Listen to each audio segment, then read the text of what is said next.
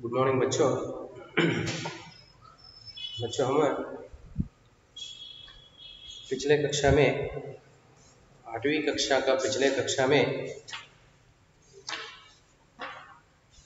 क्या निराशा हुआ जाए?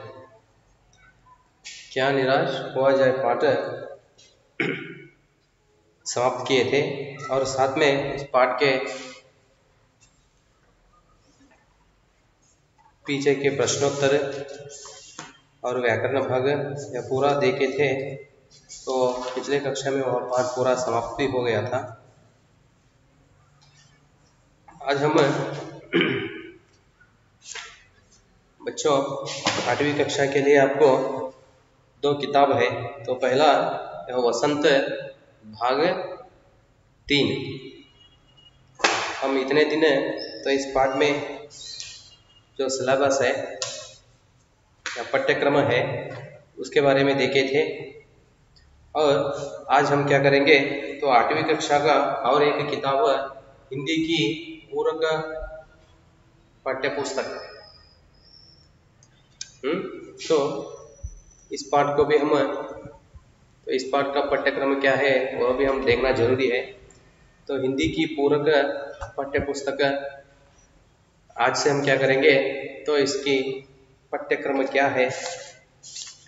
यह तो पहला आपका वह भाग त्री का किताब कौन सा है? वसंत। और ये कौन सा है? भारत खोज। भारत की खोज मतलब खोज मतलब सर्चिंग सर्च ठीक है? तो उसमें हम क्या करेंगे? भारत की खोज। तो उस किताब में पहला आपको एक, अध्याय कौन सा है? अहमद, अहमदनगर अहमदनगर का किला। अहमदनगर का किला। ये तो पहला पाठ है, तब पहला भाग है।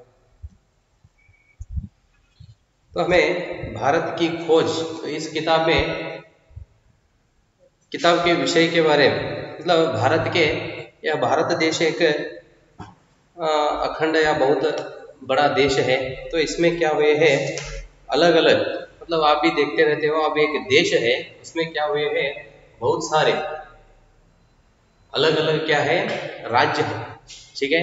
सीमाओं के अनुसार। और भाषाओं के अनुसार अलग अलग राज्य है। और वही अलग अलग राज्य में क्या है और हम फिर क्या किए हैं? जिला के रूप में हम और भाग कर लिए हैं। और उसमें जिला के अंतर्गत क्या आते हैं? अब आप देखते रहते हो। और तालुक, गाँव, ठीक है? इस तरह हम क्या किए हैं? अलग अलग किए हैं। लेकिन ये पूरा क्या है? एक भारत, देश क्या है? एक अखंड या बहुत बड़ा देश है। ये भारत की खोज मतलब इधर क्या हो रहा है? भारत की सर्च मतलब खोज। इसमें क्या ये भारत देश में एक एक विशेष स्थल है और अनेक स्थलों से भारत देश प्रसिद्ध भी है। ठीक है? वह प्रेक्षणीय स्थल हो, ठीक है? क्या और अलग अलग स्थल से क्या हुआ है? भारत देश बना है। तो उसमें कुछ स्थलों के बारे में हमें इस किताब में क्या होते हैं, जानकारी मिलती है। भारत के कुछ स्थलों के बारे में, इस किताब से हमें जानकारी मिलती है। उसमें पहला कौन सा है वो? अहमदनगर। अहमदनगर का किला।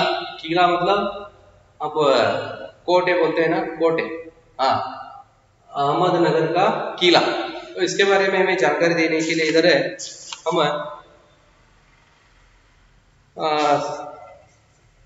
जवाहरलाल नेहरू जी। हम्म? जवाहरलाल नेहरू जी क्या करते हैं? अपना जीवन तो जीवन में उन्होंने सिर्फ़ जवाहरलाल नेहरू एक ही नहीं, भारत को स्वतंत्र दिलाने के लिए, बच्चों, आप भी जानते हैं, अनेक महान पुरुषों ने क्या किए हैं, अपना प्राण तक भी त्याग दिए।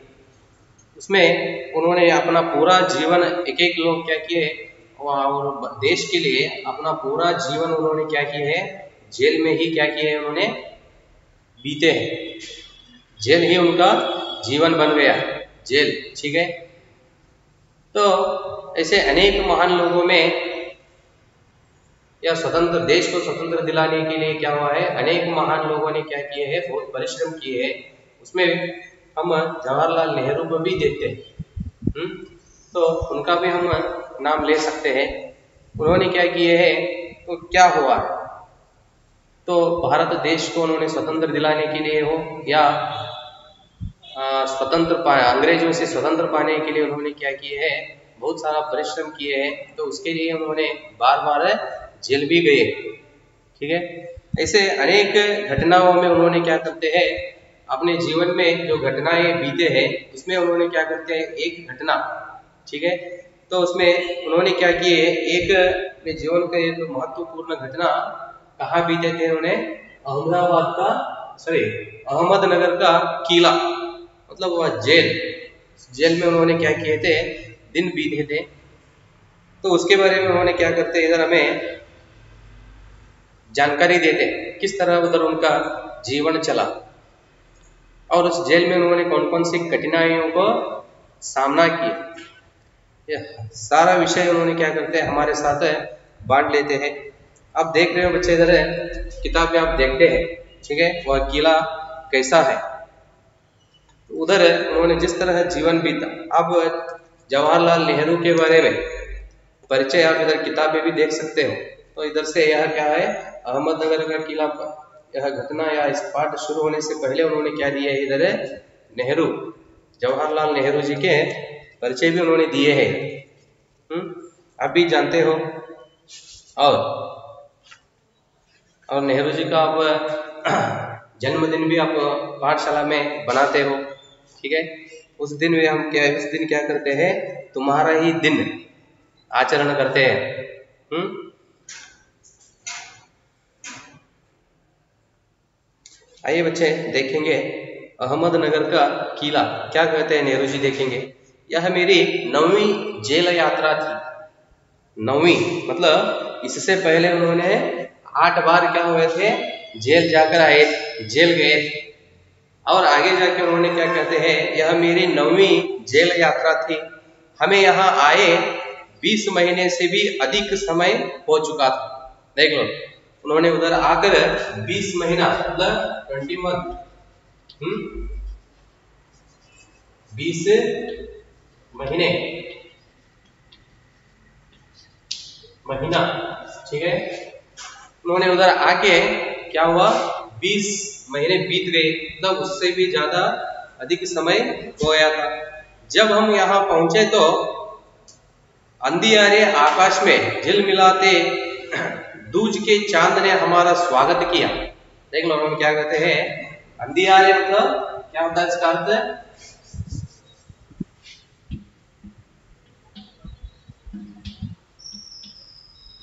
अंधियार मतलब अंधकार। अंधकार इसका अर्थ हम जानते हो डार्क डार्कनेस कत्ल उन्होंने उधर आके बहुत समय बीत गया, और वो समय का भी उन्होंने इधर हमें बताते हैं, कितने महीने हुए बीस महीने से भी अधिक समय हो चुका था। जब हम यहाँ पहुँचे तो अंधियारे आकाश में झिलमिलाते दूज के चाँद ने दूज मतलब झिलमिलाना झिलमिलाना मतलब रह रह कर चमकना। रह रह कर चमकना। अब सूरज की किरणें आप देखते रहते हैं, सूरज की ओर सूरज की किरणें आपके ओर पड़ते हैं। तो बीच में एक पेड़ हो तो वो पेड़ के डाली क्या करते हैं वो? हवा में आते हुए आपको बाधाएँ डालते हैं। सूरज और आपके बीच में बाधाएँ डालते हैं। वह रह रह कर चमकना उस समय क्या होता है? आपको सूरज ठीक तरह से नहीं दिखता। बीच में वह क्या होता है? बाधा आता है। झिलमिलान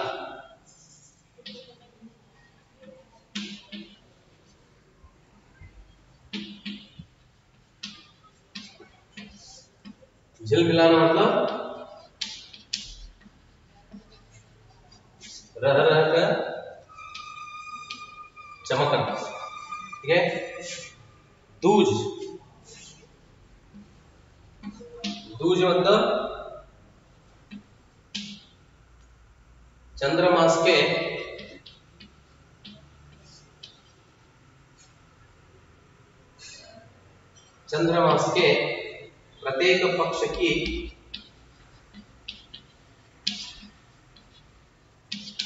प्रत्येक पक्ष की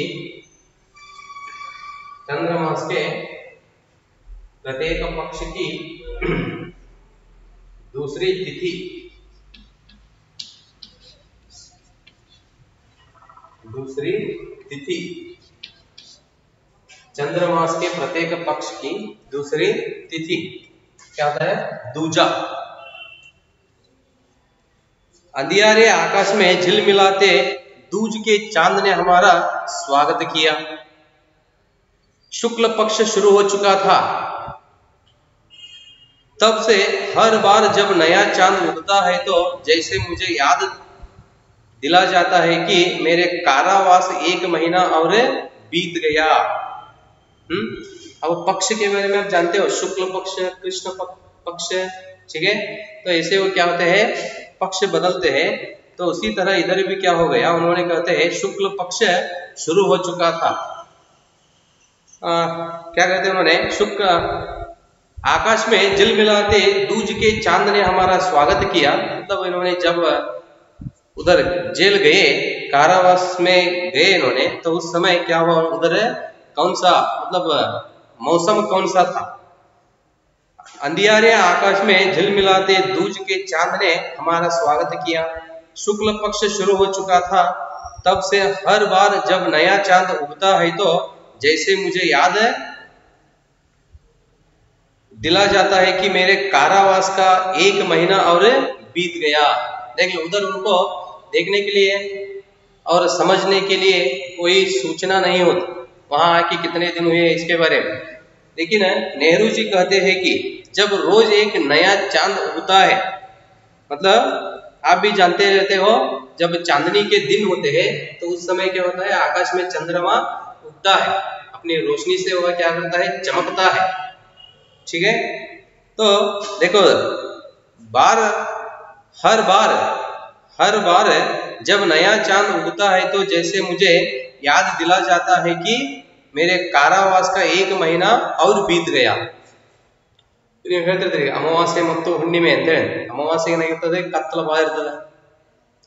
ಹುಣ್ಣಿಮೆ ಏನಾಗಿರ್ತದೆ? ಆಕಾಶದಲ್ಲಿ ಚಂದ್ರ ತನ್ನ ಬೆಳಕಿನಿಂದ ಏನ್ ಮಾಡ್ತಾನ್ರಿ ಬಹಳಷ್ಟು ಹೊಳೆಯುತ್ತ ಅವಾಗ ನೀವು ತಿಳ್ಕೊತಾರೆ ಏನಪ್ಪ ಅಂತಂದ್ರೆ ತಿಂಗಳಿಗೊಮ್ಮೆ ಒಂದು ಅಮಾವಾಸ್ಯೆ ಮತ್ತು ಒಂದು ಹುಣ್ಣಿಮೆ ಅಂತ ಹೇಳಿ ಒಂದು ತಿಂಗಳ ದಿನ ಕಳೆದು ಹೋಗ್ತದಲ್ರಿ ಅದೇ ತರನಾಗಿ ಇಲ್ಲಿ ನೆಹರೂರ್ ಏನಪ್ಪ ಅಂತಂದ್ರೆ ಅಲ್ಲಿ ಜೈಲಿನಲ್ಲಿ ಯಾವಾಗ ಪ್ರತಿ ಸಲ ಚಂದ್ರ ತನ್ನ ಬೆಳಕಿನಿಂದ ಆಕಾಶದಲ್ಲಿ ಕಂಗೊಳಿಸುತ್ತವನೋ ಅಥವಾ ಹೊಳೆಯುವನೋ ಅವಾಗ ಅವರು ಜೈಲಿನಲ್ಲಿ ಏನಂತ ಹೇಳಿ ತಿಳ್ಕೊಳ್ತಾ ಇದ್ರು ನಾವು ಜೈಲಿಗೆ ಬಂದು ಒಂದು ತಿಂಗಳಾಯ್ತು ಎರಡು ತಿಂಗಳಾಯ್ತು ಈ ರೀತಿಯನ್ನು ಏನ್ ಮಾಡ್ತಾ ಇದ್ರು ಅವರು ಸಮಯವನ್ನ ಲೆಕ್ಕ ಹಾಕ್ತಾ ಇದ್ರು देखो उन्होंने कहते हैं क्या कहते हैं हर बार जब नया चांद उगता है तो जैसे मुझे याद दिला जाता है कि मेरे कारावास का एक महीना और बीत गया चांद मेरे बंदी जीवन का स्थायी सहचर रहा है सहचर मतलब साथ चलने वाला साथ रहने वाला।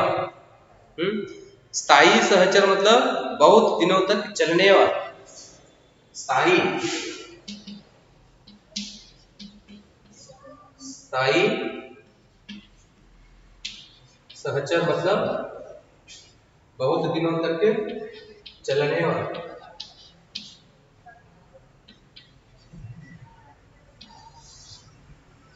बहुत बहुत दिनों तक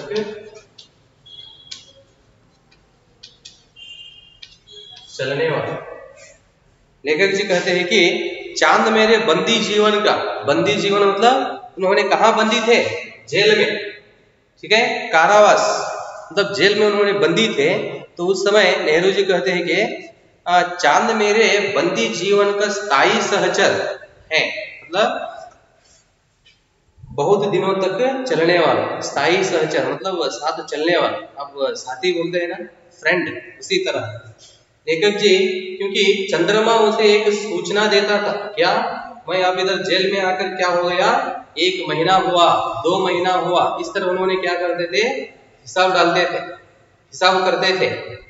तो इसलिए नेहरू जी क्या करते इधर है चंद्रमा एक ही मुझे क्या था वो मेरा सहचर था।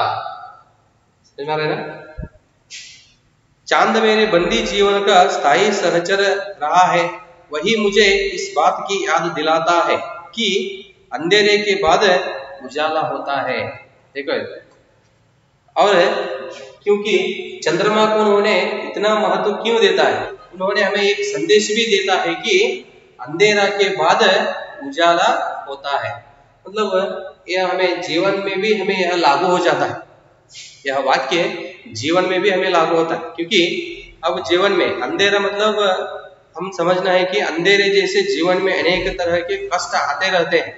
समझ में रहे ना? अंधेरे को देखकर मतलब कष्टों को, जीवन में कष्ट को देखकर हम पीछे भागना नहीं चाहिए। समझ में रहे ना? तो अब कष्ट है, हो तो हमें उसे सामना किए तो आगे जाके हमें क्या मिलता है? उजाला मतलब रोशनी। समझ में रहे ना? उजाला अवश्य रहता है। और एक बात भी हमें समझना है, अब हमें बहुत कष्ट हो तो हमें भगवान इतना कष्ट क्यों दे रहा है? तो कष्ट होने के बाद हमें शायद जीवन में बहुत खुशी होगा। अंधेरा है अब मतलब कष्ट। अंधेरा जैसे कष्ट है, इसके बाद खुशी की तरह उजाला हमारे जीवन में अवश्य आ जाता है। यह एक संदेश चंद्रमा दे रहा था। यह संदेश कौन समझ रहे थे? नेहरू जी जवाहरलाल नेहरू जी अपना जीवन में यह एक संदेश हमेशा वे क्या करते थे? पालते थे। अंधेरे के बाद उजाला होता है। ठीक है? तो यहाँ तक बच्चों नेहरू जी क्या कहते हैं? अपना अहमदनगर का किला मतलब उस जेल में उन्होंने जिस तरह जीवन बिताए तो उधर उन्होंने जिस तरह कष्टों को सामना किए तो उसके बारे में हमारे साथ वे क्या कर रहे हैं? बांट ले रहे हैं। और उस स्थल का महत्व भी, अहमदनगर का किला क्या है तो उसका महत्व भी और उसका परिचय भी हमें उन्होंने देने के लिए इधर कोशिश कर रहे हैं।